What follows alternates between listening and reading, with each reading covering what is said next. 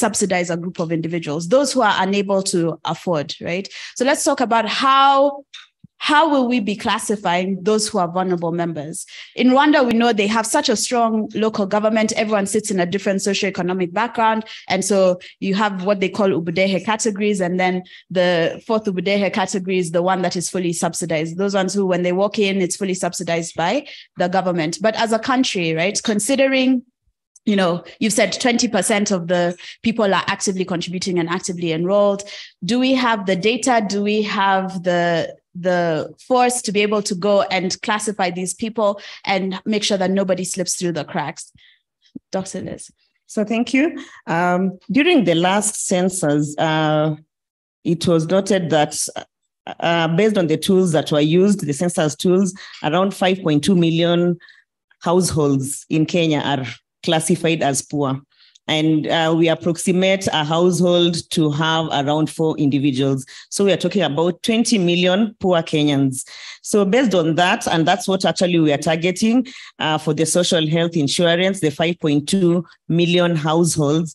Uh, to gradually cover them. Uh, currently, we have started with 1 million, and we are hoping that by the end of uh, 2025, we should have covered all of the all of the 5.2 uh, million should at least be, be on board. So uh, we work very closely with the Ministry, uh, State Department of Social Protection because they are the ones who uh, identify who who have the tools uh, to identify who is poor uh, in the country. And this uh, to, uh, this State Department works closely also with the county governments. They go house by house together with the chiefs and they like to because they're the ones who know the people of their community and that's how we were able to identify those 1 million, uh, 1 million poor Kenyans. So this is an ongoing process. And you also know that poverty is not also a static state. You may be poor today, tomorrow you win a jackpot you may be rich today tomorrow you get uh, poor. So it's it becomes like something that you'll have to keep doing each and every year. And we know it's also resource intense but since that is the commitment that we'll have to identify uh, these poor people then uh, we have been going uh, we, we, have been doing that. And the fact that health is devolved um, we left this out to the we delegated that to the county government so that they also own their their poor people. So that they don't say that this is the list from nairobi uh, of, of our poor people. So even at county level, they are in agreement. Once we get those lists, we submit them to NHIF. They validate that information. They and many some other times they have even found that some of the people are even in uh, maybe in employment, and all those people have to you know are, are usually you know uh, removed or something like that. So there are a lot of validation steps before we narrow down to who are these um, poor people. Um, yeah. Okay, thank you very much. Um, I know we have a lot of tech in the room, so I'd like to even open up the conversation to the floor, right? In terms of enrollment, I know Safaricom might hear they are forever our success story in terms of giving financial access um, through M-Pesa. You go to any development class in any university, you'll hear about um, you know, M-Pesa. So I know, um, Juliana, if we can get some of the mics going across the floor, and we have other tech experts on the on the floor. What are some of your comments? What are some of your questions with regards to enrollment? What are some of the things you think we can be doing um, in terms of building the right tech infrastructure to help with processes like this, so that you know we're not we're not burning fuel. We're actually we're, we're helping build and drive efficiencies as well.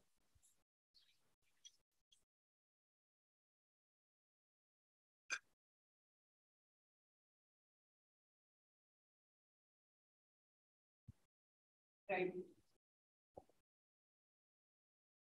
right. Good morning. Uh, thank you very much. Um, and thank you for inviting me for uh, this breakfast. Um, I think um, just to your point about access and uh, making that available, um, my name is Juliana Rotich. I work for uh, Safaricom in financial services. Um, and um, before I mention that, I think just to uh, give a little bit of uh, context about us and our role uh, in um, and our interest in uh, the topic of UHC uh, and also uh, a lot of the work that um, Zamara and uh, MOH and NHIF do. Um, we are a purpose led uh, tech company. Uh, we're growing from a telco into a techco. Um, and our purpose has and always has been around transforming lives. And uh, we believe in the uh, not only the potential, but also the actuality of technology in changing people's lives and we, produ- uh, we produce um, products, uh, we provide platforms, and we also have different marketplaces to help everyone uh, to uh, build uh, to build wealth and also to fully participate in the digital economy.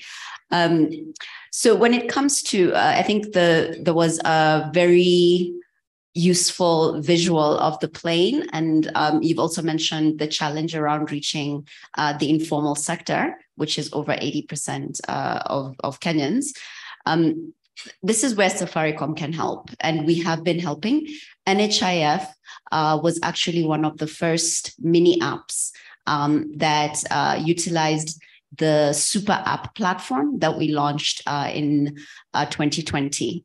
Uh, it is still the most used, one of the most used um, mini apps on that platform.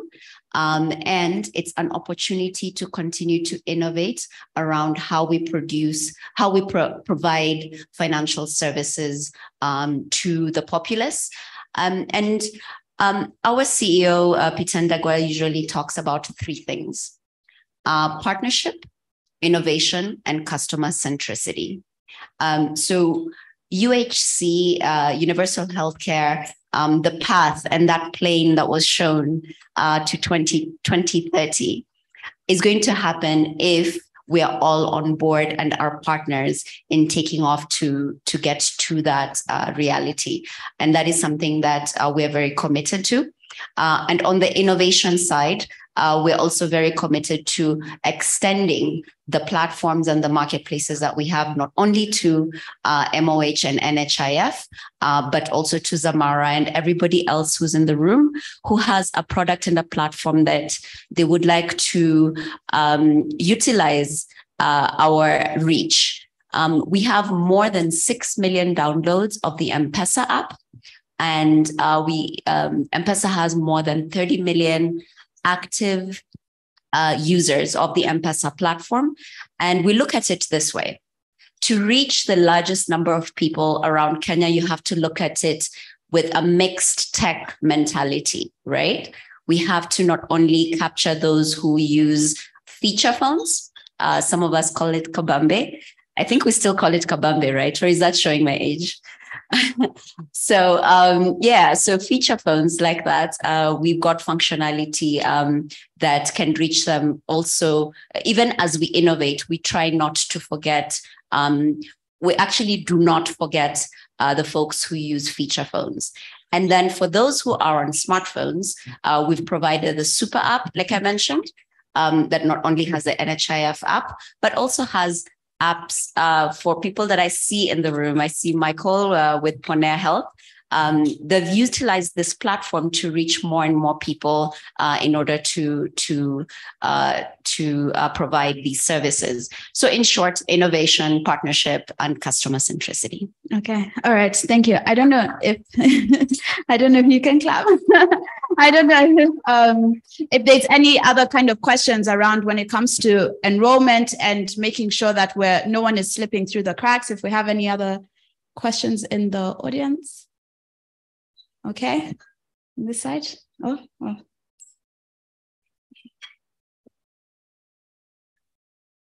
Hi, mine is just a comment about uh, achieving acceleration. So my name is Flora Kangede. I'm the regional director for Oracle Cloud Applications.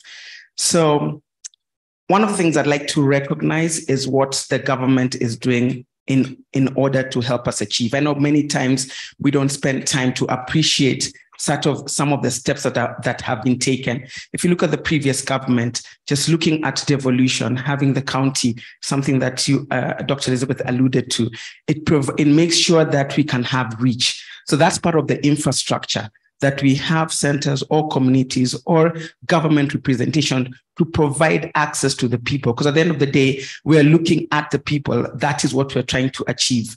The other thing that the government has done very, very well is introduce different levels of hospitals. We can't take that for granted. That is also part of infrastructure. So when I look at it, the June 2023 is actually not unachievable. It's a journey that has already been started. The, the previous government also embedded it into law, and that gives us perspective, gives us direction, gives us guidance, and understanding on what we want to achieve. So I just wanted to comment that the journey has already started and we need to continue to recognize that with the new government coming in they're not deviating from that they're continuing to do that and looking at acceleration for example for us in the digital world even with the safaricom's you need to continue to partner. I like what you said partner and customer centricity. You need to continue to partner because digitization now helps you to accelerate, helps you to achieve what you want to achieve in the shortest time possible. If you remain manual, then obviously it will take you a lot longer. And I know um, NHIF digitization has been something you're speaking about, something you've been you've been uh, working on, and I would continue to to encourage you to continue to think in that way. There's no other way of acceleration other than digitization. Thank you. I will take the last comment over here. Oh, do you have another one? There's more opportunities. We'll go on to the next section and you can find a way to plug in. Good morning. Uh, Francis is my name from uh, Sasa Doctor mine is um, the first one should be um, something that we should think about. We already have a system. We already have some of this data within the government. Uh, for instance, the IPRS uh, system has all this information that can be utilized properly. If all these systems are interlinked, it can be interlinked with the NHIF, can be interlinked. Um, I'm looking at uh, even Safaricom uh, where you are able to actually use this data and probably uh, have one collection point eventually. Maybe uh, as we're thinking, uh, some of us have really thought about using the tax um, that is scary, for instance, to collect instead of NHIF collecting. But is there a plan to have all these systems integrated? I know uh, I've had from Safaricom, they, they, they would want to have all these systems integrated, talk to each other, and eventually be able to get this information out there.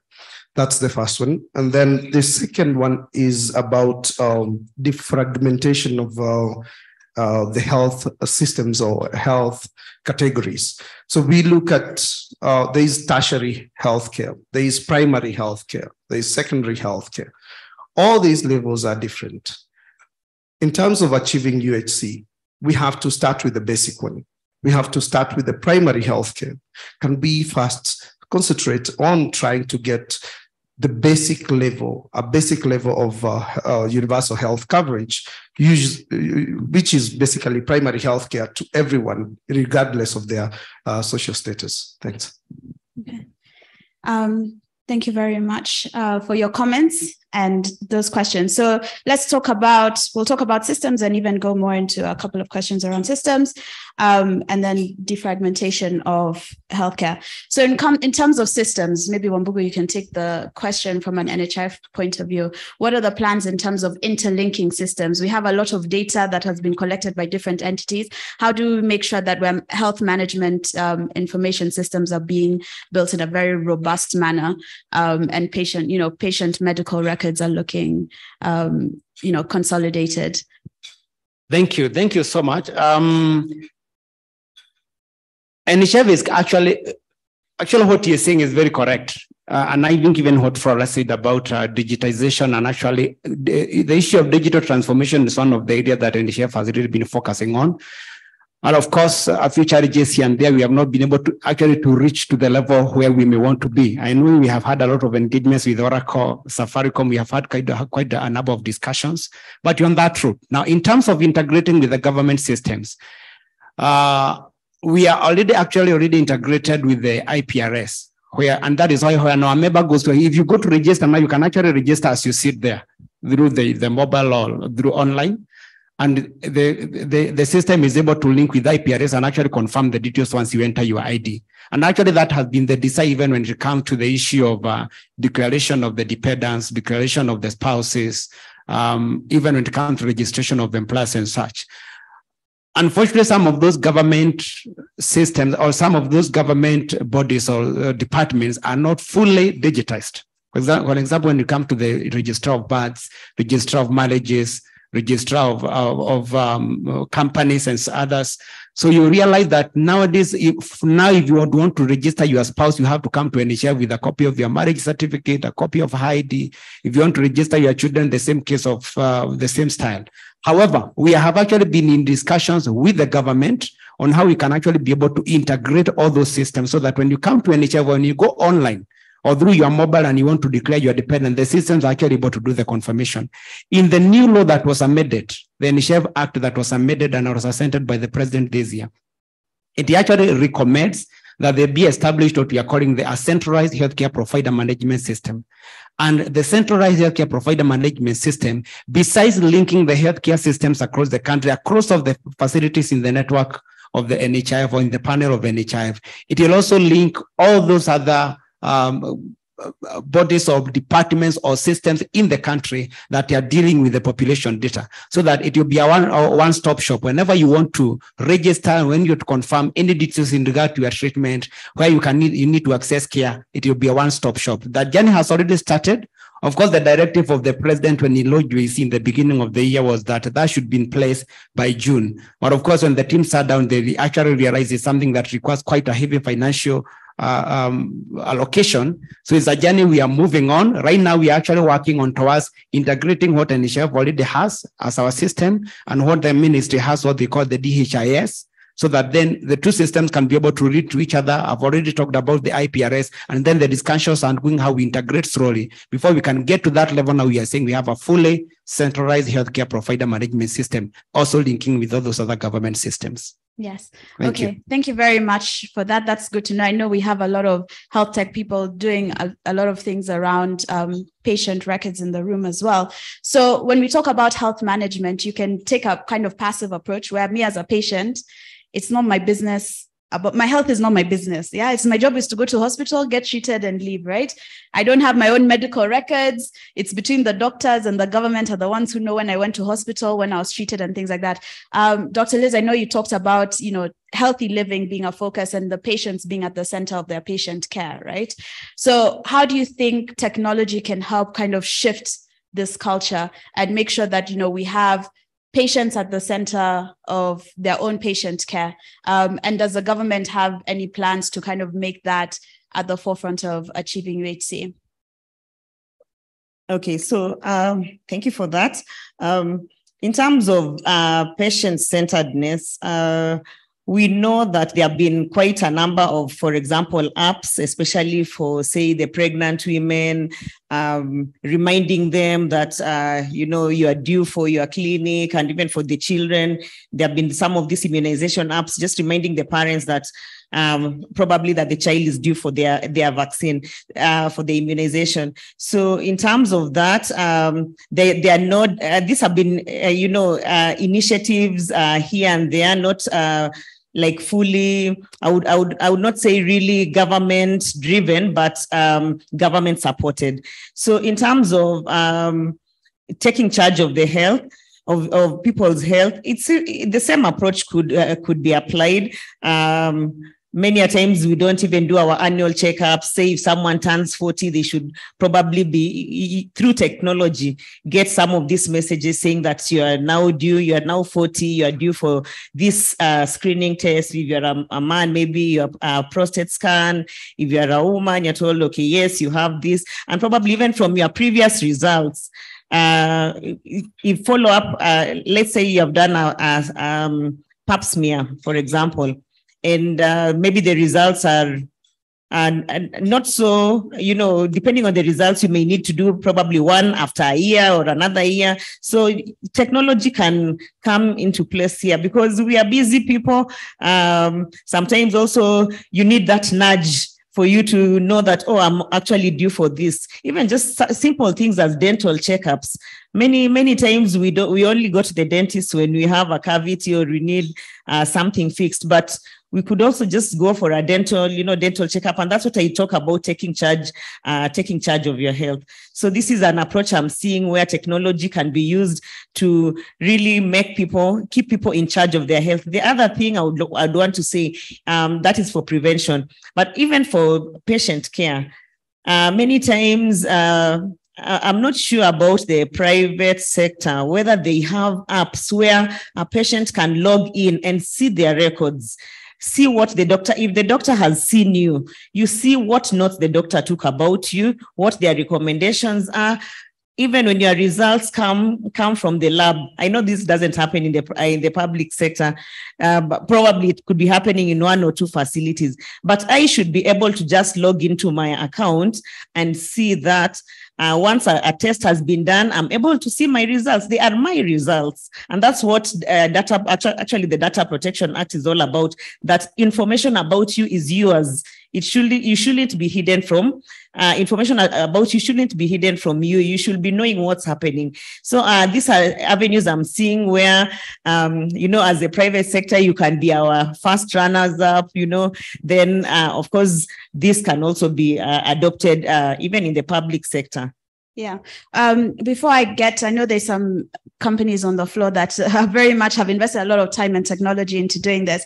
But I just want to dig a little deeper into what you've talked about in terms of understanding medical histories and things and going into now treatment protocols and managing the cost of care by standardizing treatment protocols, right? We see that, you know, someone goes to one hospital, they do one test, like, you know, whether you're, you're checking, even if it's for, um, Um, checking your hemoglobin, right? So you do one test, you're referred somewhere else, someone will do the same test, you're referred somewhere else, someone will do the same test for the same case of sickness right so in terms of you know standardizing treatment protocols to make the cost of care more effective from an you know an nhif point of view how are you managing those processes and those processes of like what medications are people getting they're not being over medicated or over tested um, because we know that has been a challenge in the past so how can we make sure that you know spending is more efficient with regards to that Thank you. Um, I think that ties even to what I said earlier in terms of a centralized healthcare provider management system. Uh, because you look at the countries that are ahead in terms of um, even UHC, uh, and I know Kenya has been studying a lot actually the Thailand model in terms of how they have implemented UHC, and Thailand is quite ahead of Kenya. You find that they have that kind of system, a centralized healthcare provider management system, such that if I visit hospital A, maybe a level one, or I mean a level two or three, where maybe I'm receiving the basic care, the primary health care, somebody insinuated, and then I'm going maybe to a level higher level, maybe I've been referred. Uh, my records can, only, can already be accessed from the same level. So that is already now taken care of in the law. That there will be that centralized system that from my the, the history of my healthcare provision can actually be viewed at the same point. However, of course, I know that one will come with a lot of trust, even among the healthcare provider themselves. Because I'm sure you have experienced this when you go to hospital A and you do a test. When you go to hospital B, even if you have your result, they insist on doing theirs. But I'm, I'm sure there, the Ministry of Health will have to come in so that once the, the, the, protocols are defined and everything is put in place, and once a test has been done in this hospital, there's no way hospital B again can request the same procedures to be repeated. Because as you put it, it is very costly that I have to do an MRI here. And then when I go to another hospital, they insist on doing another MRI, yet I already have the results, meaning that maybe they don't trust the test that was done in the hospital A, and that's why they have to do their own. And eventually it becomes very costly, both for the individual, if at all maybe they could be meeting it out of their pocket, and also for the health insurance, because then you find that you have to pay a lot for the same process that you could have avoided. So that one is already uh, taken care of in the law. And once the system is in place, definitely we'll actually be able to have all those everything defined in terms of the protocols and it will be very safe for healthcare providers and even the professionals in terms of seeing the history and maybe even for the individuals as uh, dr lee said an individual being able to access their history of care and maybe to informs them even in terms of what they need to do to take care of their health. Okay. Yeah. Um, thank you very much. Now i'd like to just open the floor to the mic. So any terms of in terms of when it comes to patient records and health tech if we can get the mic on the floor.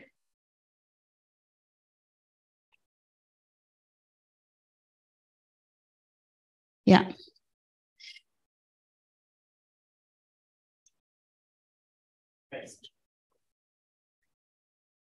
Sorry, thanks. I think uh, I'm uh, the CEO at Ponea Health, and just a few observations and maybe questions. Um, I think I've got a colorful history with the Ministry of Health in terms of trying to do automation, and it just didn't, didn't naturally end very well. Not because the vision was was flawed in any way. I think the resistance to change is big. So the first question is, it's great to have conversations like this, but we have big meetings of 250 people in workshops in Naivasha, blah, blah, blah. Project is well funded. But the conversation remains, even after doing the enterprise architecture and saying we're going to implement this, it's a great conversation in the room, but behind the room, people do not really want the project to take off. So how do you address this resistance to change, knowing very well that's the elephant in the room? Technology, I think, whether or not you talk about patient centricity in terms of records, blah, blah, blah, medical, uh, medical drug, uh, drug and trace progr- uh, pro- programs all the way from manufacturer imports to patient. These are all things we know, right? But I think the biggest challenge is commitment to that change. Now, I highly doubt a project of this nature will ever take off. And at least from experience, and I've been burnt on this, a lot of money, right? I don't think a project like this will take off unless you have top leadership commitment. I think if the president of the country does not commit to say that we want to digitize, I think we're all wasting time. That's my personal opinion. It has to be at the point of where, like our, what is this highway? What is this SGR stuff we built? We have SGR, right? So they had the highest level of commitment in the country to make sure that SGR is implemented was there. He himself would go and see the project. When we build the expressway, he himself would go and see the project. So unless we have that level of commitment at that presidential level, I think this is going to remain a story. That's my two cents.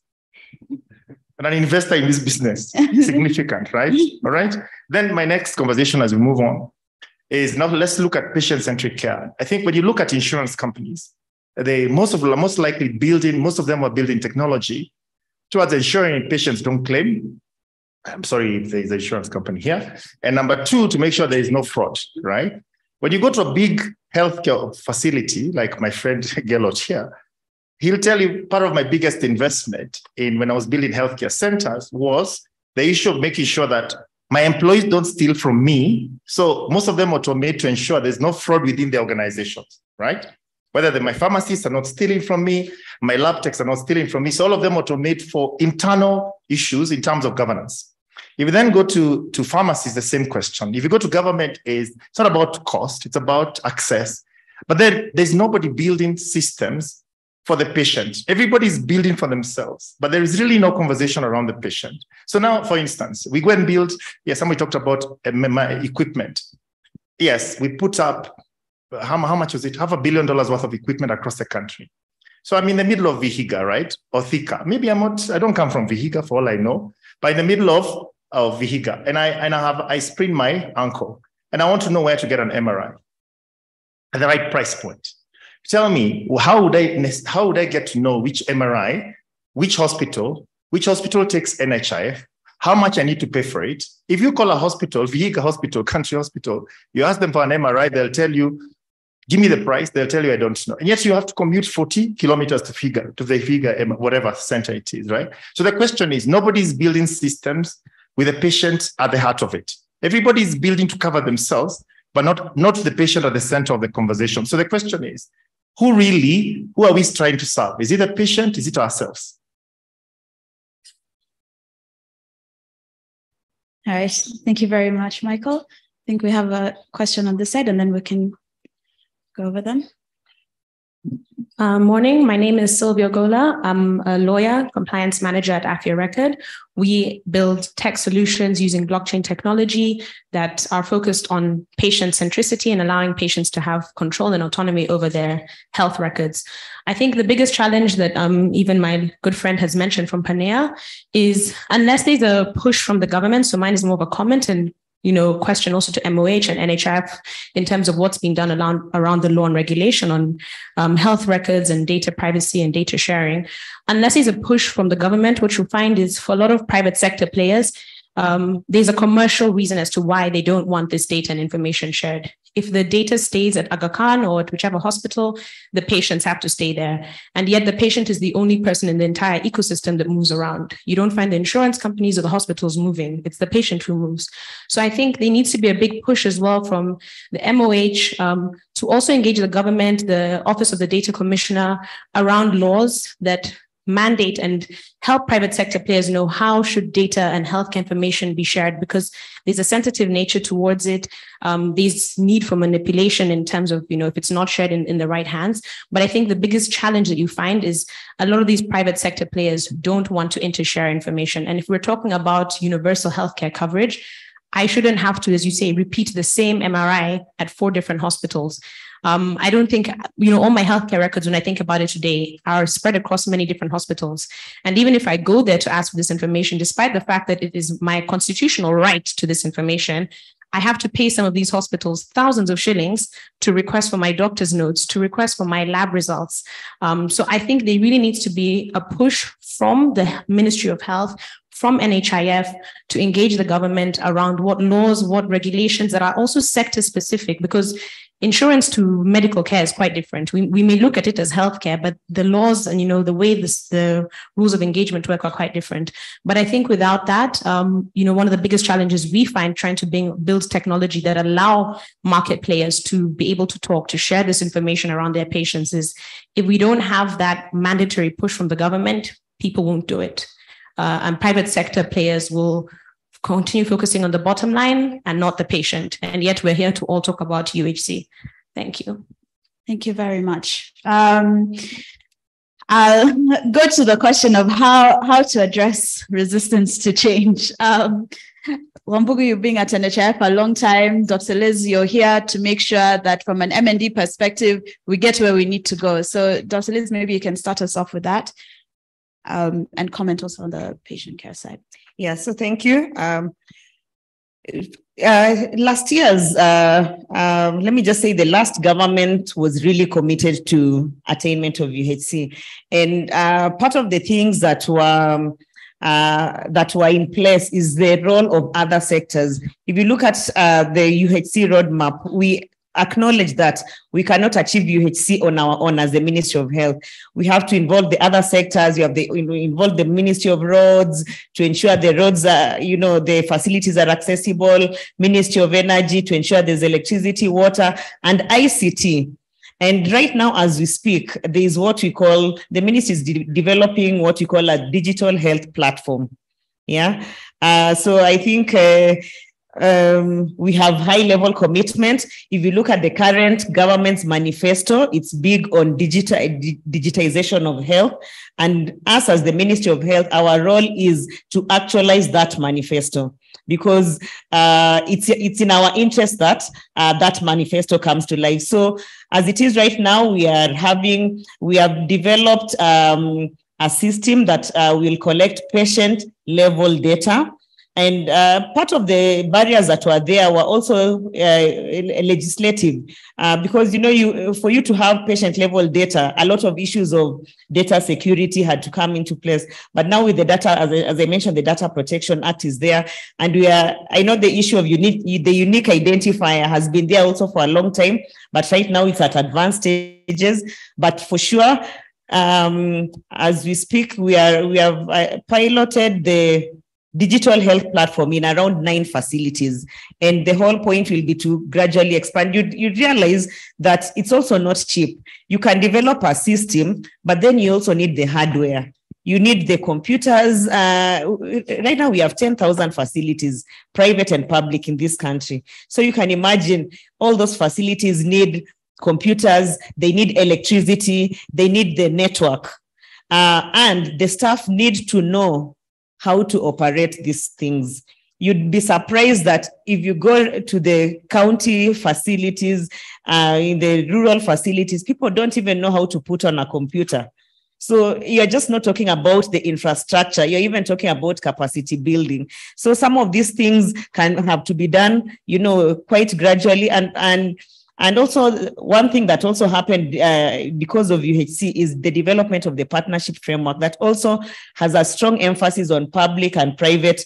Uh, we say these days collaboration, not uh, partnership. So, uh, in situations where uh, we need, say, the private sector um, the tech people, you know, uh, of course they'll come into, you know, they they will see how we can, you know, work together, the government and also the private sector to make this a reality. Otherwise, uh, it's something that uh, there's a strong uh, political uh, goodwill uh, right from the previous government to the current government. I, I can assure you, if you have read the manifesto, it's there in the manifesto. So we have the backing from the highest level in the country. Okay. All right. Um, thank you very much uh, for that for that uh, statement of commitment. Um, I think we've heard it here. It will we'll hear it in the news. um, but yeah, and as we said, if we, with committed leadership is how we get to these places, right? I think something that does help is the global pressure towards achieving UHC um, you know, Kenya usually on the continent tends to be, you know, the part of driving a lot of these initiatives or being a thought leader in this space. I think Rwanda have overtaken us with kind of their commitment. But generally, from a global perspective, I think there's usually a lot of pressure on Kenya to do things so that uh, the neighbors can also also do things in in a similar regard, right? Um, so yeah, so let's go into a couple of other questions with regards to cost, right? We'll, let's talk about, you know, inflation when it comes to medication and medical tech, right? We have a high reliance on importation of medication and medical technology. Um, you know, what role, you know, do we feel there is to play in terms of local manufacturing, in terms of helping manage the cost of care with that regard? I would hand over to you um, Okay, thank you. I felt like that one is for for Minister of Health than myself, but it's okay. But maybe even before I get to your question, maybe I still wanted to add something on what somebody had raised about the government commitment in yes. terms of attainment of UHC. And actually, we can be able to assure that the government is actually fully committed. And some of the strides we have actually made, even in terms of the legal reform that required to be done, so that then we can actually be able to show that actually UHC is anchored on the law, is because of the government commitment. From the executive to the even to the legislature, we have had actually, I would almost say, a smooth sail in terms of uh, uh, going through the legal reforms.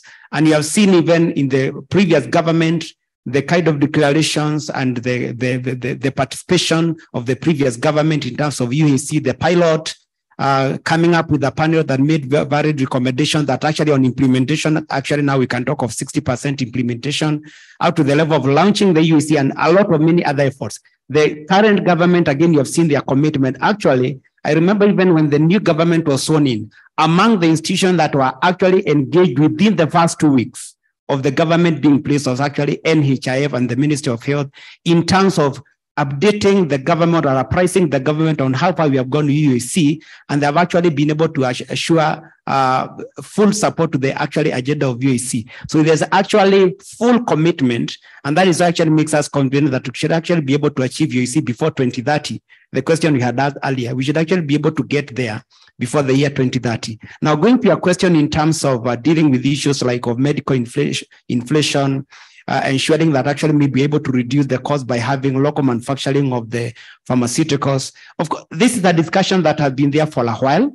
Um, and, and we have seen um, even sometimes even on the media some partnership that NHIF has been able to uh, to get into with some of the, these pharmaceutical companies so that they can be able to have we can actually be able to bring the cost of healthcare down and affordable.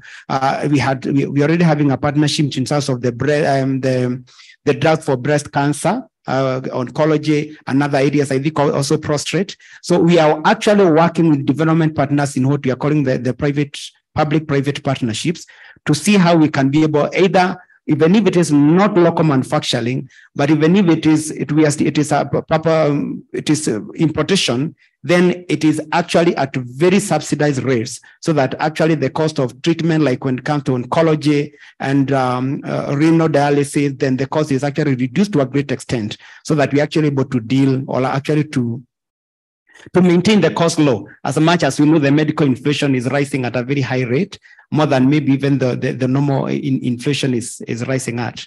It's a big challenge and it is making actually the cost of healthcare to go very high. But I know with the kind of approaches and the partnerships we're engaging in, to a, to a great extent, we'll be able to put that in control. Okay. Yeah. Thank you very much for that. I don't know if you had anything to add on the same.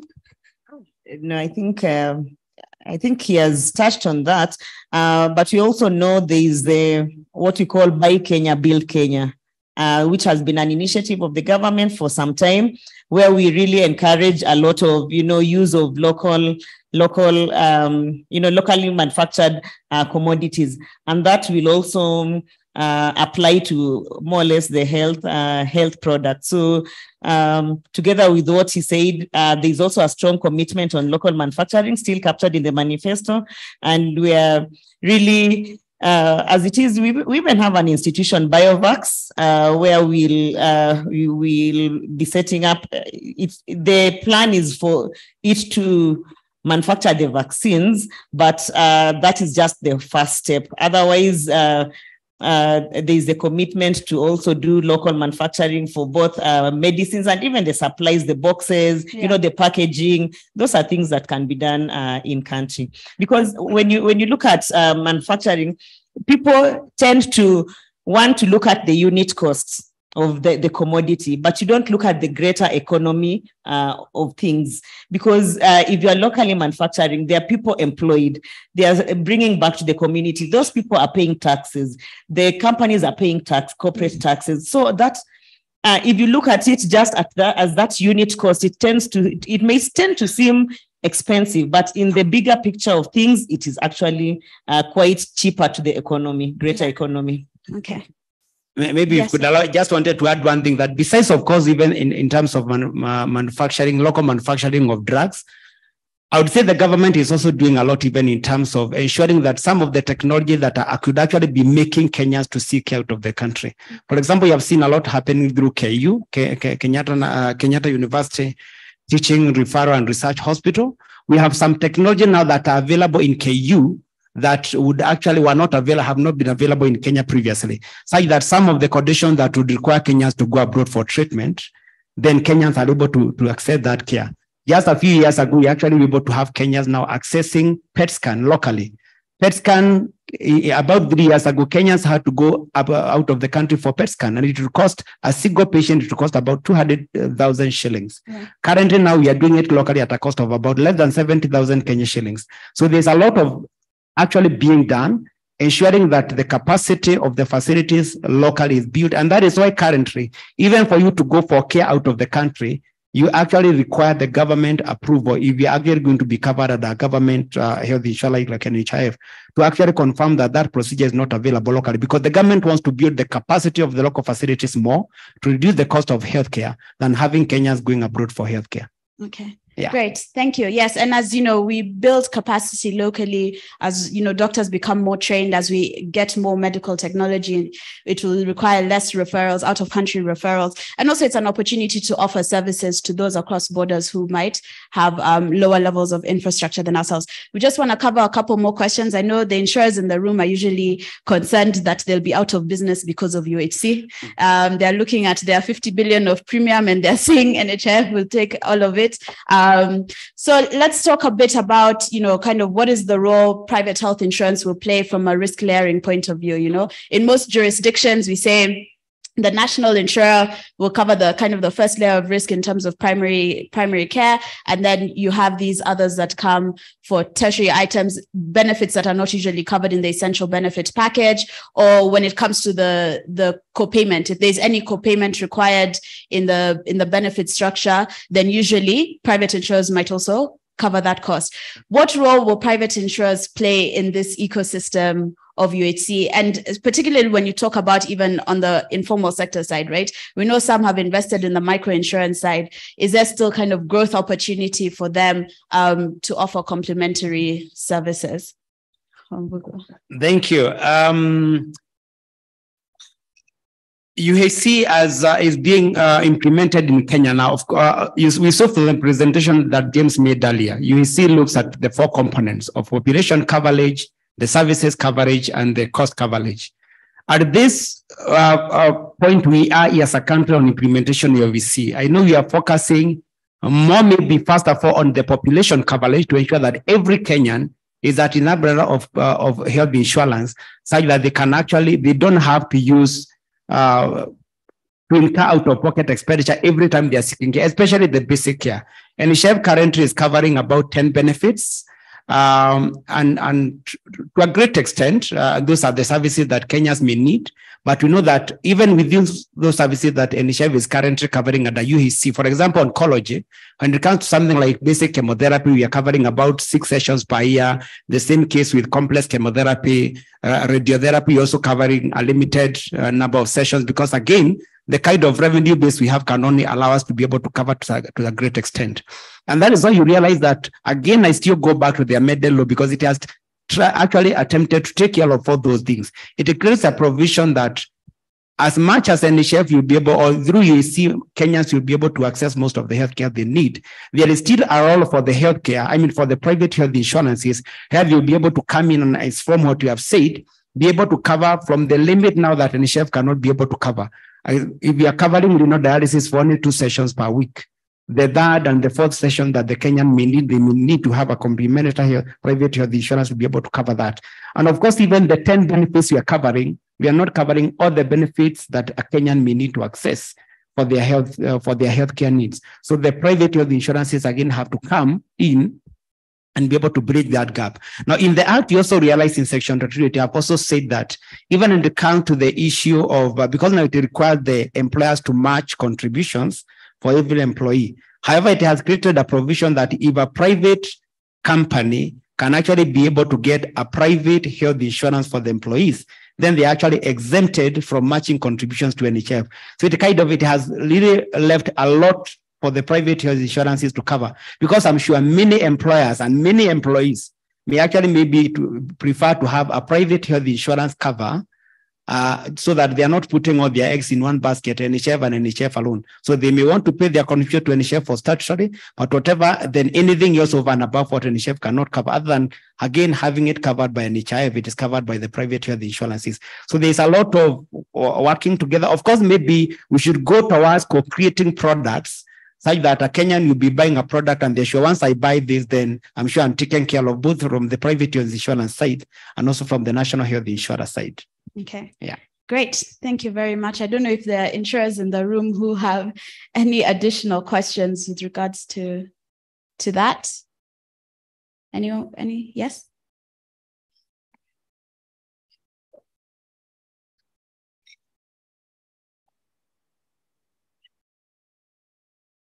Um, yeah, thank you. I'm Wesley To uh, from AAR Insurance. Um, maybe just a key point for me is um, just around regulation, especially the aspect of cost. Um, I think that is an honest opinion that we need to actually have uh, with a number of stakeholders um, from the medical side uh, all the way now to the insurance. As, as much as we focus on uh, UHC, the focus should be um, bringing in coherence between the private sector and, of course, now say the NHI.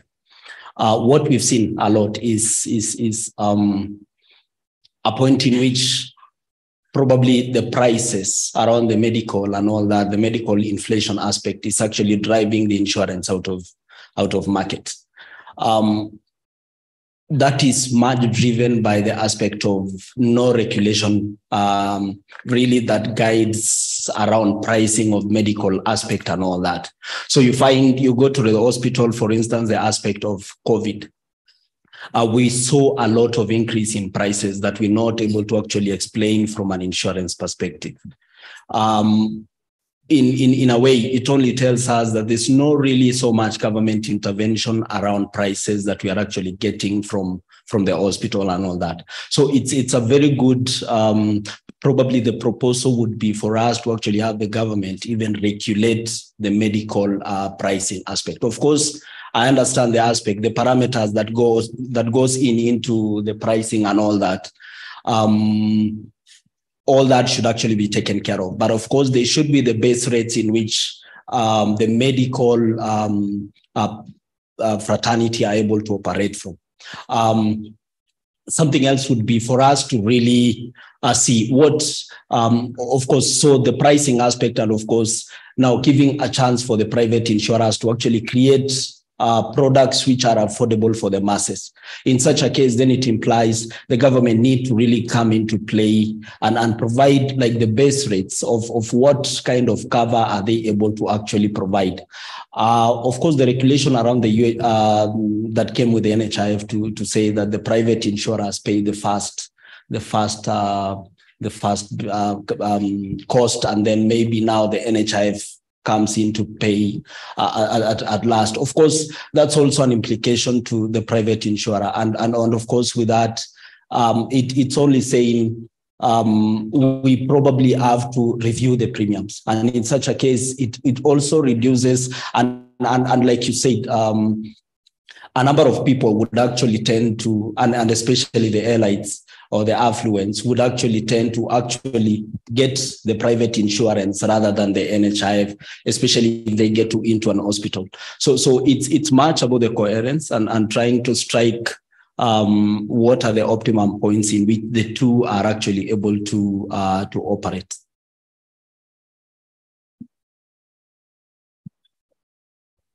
Um, okay, thank you. Maybe um,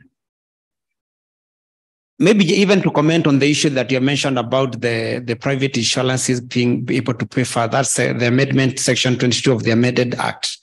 Um, yeah it creates that provision and actually it's not really to say that the, the private insurances will come in and pay first but uh, there is the what we can call the essential healthcare or benefit package that NHIF will always come in and pay first and then any other remaining part of the bill then is now what the private insurance take care of.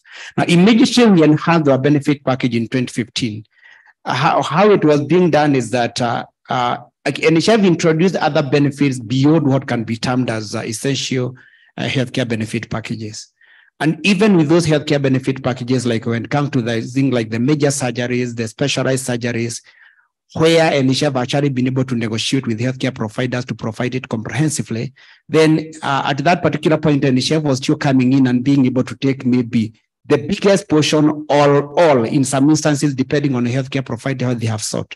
So the, the current amended law now us to put some balance into that, that as much as now we are offering beyond the basic healthcare package, when it comes now to those advanced benefit package, there should be a way of sharing it with the private insurances, where somebody is insured with the private insurances to avoid scenarios where NHIF is taking 90% of the burden, yet they have taken maybe 10% of the premium. Because if you compare the NHIF premium and what somebody pays to the private or the insurance, it's actually the difference is quite big. So that is the balance it has tended to strike. And that is where you realize that even at the point in which now the current law is being put in place, there was a lot of engagement with the private health insurance providers to ensure that actually we're able to get into a consensus and agreement how this is going to work for them and is not going to drive them out of market. Now, I agree on what uh, the, the, the, the gentleman has said in regard to cost of healthcare is actually not only affecting the private health insurances, but even to the biggest extent in NHIF.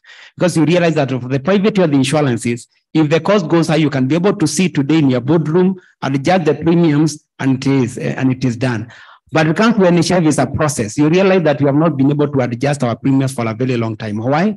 It is a process that requires approval by the government, the legislature, the public participation that has to be done before Kenyans can say you can increase the informal sector contribution from 500 per month to maybe 700 shillings per month. So it becomes a very big challenge in terms of still being able to assure Kenyans, at, at, at, especially with UHC, that NHIF will be able to cover you comprehensively without you incurring expenditure with the high rising cost of expenditure in terms of the HPTs, the health products and technologies, the consultation that we are getting, even the, from the figures we get from the Kenya Medical Practitioners and Dentistry Council. So it's a big challenge that Kenyans need to sit down. And uh, of course, I know that it has a big role with the government, which we are part of, but a big responsibility to the Ministry of Health to actually regulate the cost of healthcare in the country so that even insurances can be able to still maintain their premiums to an affordable rate to allow many Kenyans to enroll for health insurance, either health, uh, national health insurance or even the private health insurance, because we need all players to be there because we don't want a place where we have a monopoly and then the quality is likely to, to, to become lower. Yes. Yeah. Okay. Thank you very much. I'll ask Dr. Liz, you can give some closing remarks at Wambugu, um, conscious of time. Then we have um, Nico will come and give us the vote of thanks. Okay, so thank you. Before I close, I I, I, I needed to make a comment still on the cost. Uh, the Ministry of Health is currently doing what we call cost of services, costing services. So that if, for example, um, if you're asked what is the cost of a cesarean section, you know, what you know we look at the inputs and basically the services and be able to guide and say that based on this is a document that will cost each and every service offered uh, in the health sector that's number one number two um, and these are still part of the foundational things that have been done because of UHC. Uh, number two, we have been also doing the, what we call medicine and pricing. So when you're looking at the pricing of the medicines, uh, there'll be a document that will actually give the standardized, like a standardized um, uh, pricing. Uh, that, of course, that will be together still with the formulary. So that this uh, pricing uh, will feed into the costing of the services. And of course, we are developing also clinical guidelines that will also, uh, you know, uh, guide on really how to manage, you know, the various conditions. So some of these things are more or less like foundational documents or foundational um, processes that have been there in the last two, three years uh, as part of UHC. Uh, which maybe are not visible outside, but you realize that for you to achieve that, then you have to do some of the, you know, these foundational works. So uh, over to my remarks. Uh, for me, I would want to thank um, Zamara and the entire team here for inviting us uh, to share with you on the vision of the government. Uh, I know everyone likes saying the government this, the government that, but I can assure you that um, we are very committed. Uh, the current cabinet secretary is quite committed to um, putting UHC at a pedestal. And even as you've seen, as I've mentioned even before, the manifesto really emphasizes on, um, on a lot about UHC. And it's us to push it because we are the ministry that is meant to implement that section. So it, we can't say that we don't have the political goodwill. We have the political goodwill. Uh, and as I said also before, there is a very strong uh, role the private sector plays and not just the private hospitals, the private sector in general. We have worked quite closely with, with KEPSA before, and we know that they have a big role to play in the uh, entire health sector space. And um, I believe that uh, with you know this collaboration, we should be able to achieve um, uh, UHC before 2030. Thank you. Thank you. As well. Uh, thank you so much uh, for this time to be able actually to come together and actually just share how we are on the journey to UHC. One thing I want to assure us, and actually Kenyans, is that we're on the journey to UHC and we are going to attain UHC as a country. There's a lot of commitment and there's a lot that has been done. A major one being actually aligning the legal framework because we could have done a lot, but if the legal framework is not right, and we know the way Kenyans are keen, then we could have had to actually faced a lot of challenges. The government committed is, you cannot doubt that. We have seen it. We can be able to demonstrate that. We know there's a lot to be done, especially in terms of infrastructure. The biggest infrastructure for health in the country is government. She mentioned about 10,000 facilities countrywide, and actually 80% of them are actually in the initial panel. Uh, and out of that 80%, over 75% of them are government healthcare providers. But now, when you look in terms of access, you find so many Kenyans preferring to go the private healthcare care providers. I'm sure even all of us who are seated in this room, if you are to fall sick now, I'm not sure you're going to rush to Mbagathi or to Kenyatta. You're going to be finding your way to Aga Khan, to Nairobi Hospital, to MP Shah. We know the reason why. So we have to work together on that as the private players, as the government, to ensure that we are taking the level of healthcare in the government providers to the level that Kenyans should be thinking of a government healthcare provider. And why am I saying that? That not mean that we don't want Kenyans or the private pro providers to, to actually still continue doing business.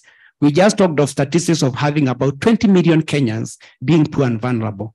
Those private Kenya, I mean, those Kenyans do not be able to afford healthcare in the high end facilities. They are the ones who will be able to access in the basic facilities being the government facilities. So we need to have the government healthcare infrastructure work And I know you'll be able to achieve that through partnership, through collaborations. And so once we do that, Kenyans can comfortably be able to say they can visit to a hospital, receive care, not in capital out of pocket expenditure, and you'll be able to get to the level of VAC. Lastly, is the issue of medical fraud. I thought we were going to touch on that in this discussion. It's a major issue in Kenya. I'm sure the private healthcare, pro, uh, private health insurance is experiencing that. The issue of medical fraud actually is a problem mm, uh, globally, not just in Kenya, but maybe in Kenya it's a lot. At NHIF, we feel it a lot because Again, because of our spread of our many providers, of our many members, and maybe lacking the adequate uh, number of personnel and even the adequate infrastructure to be able to bring it to the level that now it does not really lead to very high financial hemorrhage. So we need to work on that again together private partners, we work together with the National Health Insurer so that we can actually be able to control medical fraud because that is another reason why the cost of Medicare in the country is going very high and making it afford- unaffordable for many Kenyans. If we are able to control that, you can actually be able to actually see quite some reduction in cost because now we have to take care of that even as we price our products because it's something that is to another level in this country. Thank you so much. Yes, thank you very much. I'd like to thank you very much for your time. Um, we've talked a, a, lot about, you know, the role technology can play, you know, focusing on primary healthcare to improve, you know, the level of access. Um, you know, the question of whether the money is enough uh, is always, there's never enough money. I think when we look at health systems across the world, there's never enough money. All of them are always saying they're spending 90%, 100%, 120%. Um, the question is about with the funds that we have, how are we mobilizing them to improve health outcomes and health gains. And the stakeholders in the room, the stakeholders who are tuning in virtually, um, and yourselves, hopefully we can partner together towards achieving universal health coverage. Um, and then hopefully the aim is in May next year, we're trying to see if we can have a social security conference, get partners from across Africa, because we've seen a lot of the same challenges. We want to make sure that even as we're thinking of more Pan-African um, visions, even as a as a jurisdiction that we can feed into that conversation um, help gather information and share knowledge that we have learned in the process as we gather next year in may. So i'd like to invite james to give our panelists a small token just a token of appreciation as also nikhil comes for the vote of thanks it's coming over there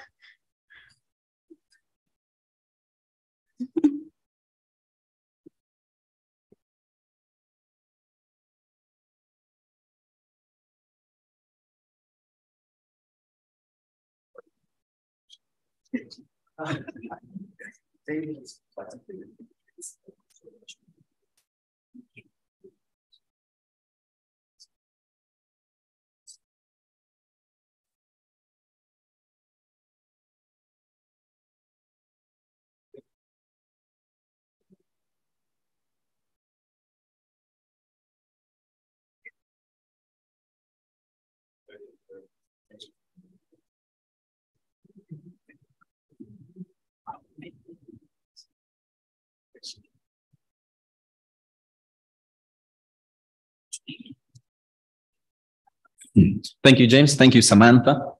Uh, as I start, we will have a QR code on the screen for you to scan to give your feedback on the session. Um, as an introduction, you know, I think we've heard the journey to achieving UHC is a significant component of our 2030 sustainable goals. And, you know, it really merits our attention and participation as key stakeholders. You know, we've seen the journey is not easy, as we have heard, uh, but we're taking steps in the right direction. Uh, this as Samantha has mentioned, is the first session we are hosting in the build up to a Pan African Social Security Conference that will be held on May 10th to 12th the next year, uh, where we look to bring together our expertise on the work we've done with the various social health insurance across the continent, as well as the pension, uh, social pension schemes that we've worked with across the continent. I'd like to thank Dr. Wang Yep from Ministry of Health for joining us today, as well as Mr. Kariuki from NHIF for joining us today.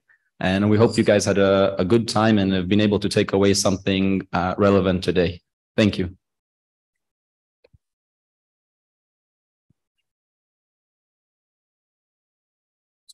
Yes, everyone can rush to their next morning meetings.